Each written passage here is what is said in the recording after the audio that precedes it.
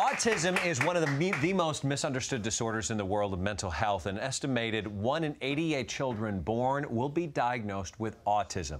Here today to talk with us about her experience living with autism and discuss her new book, which is called The Autistic Brain Thinking Across the Spectrum, is Temple Grandin. Welcome to the show. It's great to be here. So, you were one of the first people diagnosed with autism.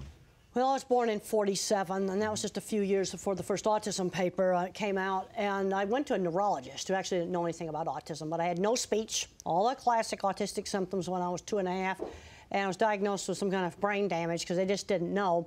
And then a few years later, I got the autism diagnosis, but I got into really good early educational intervention. Great speech therapist uh, that worked with kids in the basement of our house. It was as good as any program today.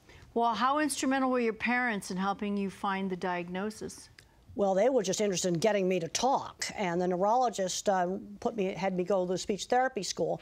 And then mother hired a nanny when I was three, who just played constant turn-taking games. You got to teach these kids turn-taking. You got a two-year-old or a three-year-old that's not talking. I don't care what is diagnosed. You got to do a lot of therapy, a lot of hours, and hours, and hours of one-to-ones to engage that kid. So, tell, what was your childhood like? Well, I was fairly verbal by four, and actually I had quite a good childhood. I loved to fly kites and airplanes and and and um, do craft projects with other kids. I think it's horrible how so many schools have taken out the hands-on classes yeah. because those were great activities that I did with other children.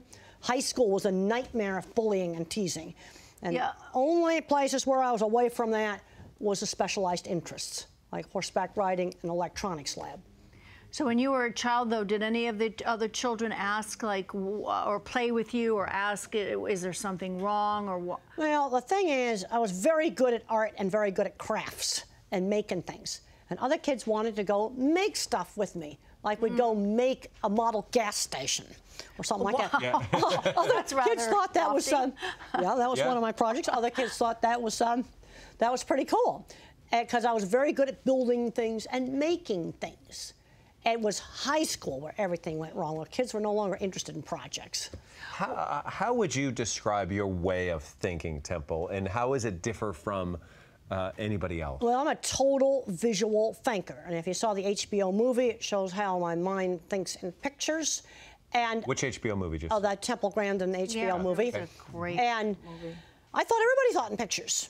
And it wasn't until I wrote one of my earlier books, Thinking in Pictures, I thought everyone thought in pictures. And then in my book, The Autistic Brain, I explain how I discovered how some other people on the autism spectrum have other types of specialized thinking. Such as what? Mathematical thinking. This is the kind of kid where in fourth grade he's super good in math, needs help in reading, so you need to advance them forward in math. Don't make them do baby math. And then you got the little word thinkers that know all the facts about their favorite stuff. We got to work on building the kid's area of strength. And my area of strength was art, and I turned that into my uh, livestock design business using my art skills. Now it's a life, li uh, livestock, like livestock, livestock like with cows. Well, that steak probably was handled on a piece of equipment I designed. When that beef was on the hoof, I just I invented a piece of equipment called the center track restrainer system. And if you want to see how my livestock stuff works, you can look up beef plant video tour with Temple Grandin. But what you went to a livestock yard one day and well, I started out. Uh, you know, my aunt's ranch. My high school had some dairy cattle, uh, and I took care of the horse barn when I was in high school. Uh, that started, you know, my interest there in animals, and then I started designing facilities for feed yards out in Arizona, and just build up my freelance business one little project at a time. Can I jump back to something you said, yeah. Temple? You talked about you think in images pictures, and, yeah. and, in pictures. I, yeah. I, feel like I do. I remember things more visually when I see things. Can you elaborate on what you mean by you think in Well, that's probably why you're in TV and you're not in radio. I find that, that a lot of radio people don't think in images. Let's, uh, every thought I have is a picture. My mind kind of works like a you know, visual search engine.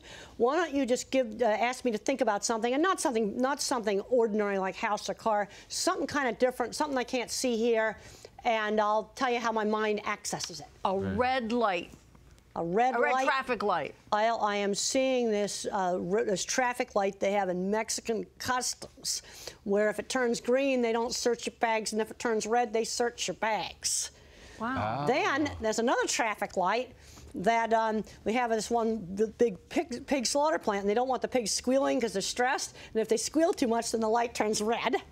Oh, So that's how so it's- uh, these are all experiences Yeah. you've had Yeah, with that's these right. sorts of lights. And and um, they come up as a series of pictures. Okay, now I'm seeing getting a ticket from policeman one time, and I did not run a red light. you know, but things are coming up as a series of still pictures. Okay. Okay, I'm now saying, okay, traffic lights at various intersections in Fort Collins where I live. And there's two of them that have speed cameras on them. So, boy, you better stop. See? Are you seeing several images at once, or is it one at a time? It's one at a time. They come up like slides. Now, if I if I hold the image there, then it can start to turn into a video. But they come up as a series of still pictures, and then I can get off the subject. Okay, I'm on, now I'm seeing the uh, King Soopers Market, where a grocery shop, that's near the intersection with the speed camera. Wow. See, that's coming know- up as a picture. Temple, we, we have a picture of an MRI that was done at the University of Utah in 2010. Yep. And can you explain what it is that we're, we're seeing here? Uh, you got the black and white version of that because you get the color version of it. That part in the middle is bright blue, and I have an asymmetry of the ventricles. And basically, what's happened there, my left parietal area is full of water, full of cerebral spinal fluid. And that's why I'm so terrible in math. But if you go on the USA Today website and type Temple Grandin in, you're going to find a huge visual um, circuit there. But the right side is the, the right side is that of the Well, yeah, screen. Is that your brain? Is that Yeah, a the- scan of yeah, your brain? That's me. And Okay. the other one is the control. And uh, that, you know, kind of a V-shaped thing, that's the ventricles full, filled with cerebral spinal fluid. And uh, kind of my math department's kind of trashed. I absolutely couldn't do algebra.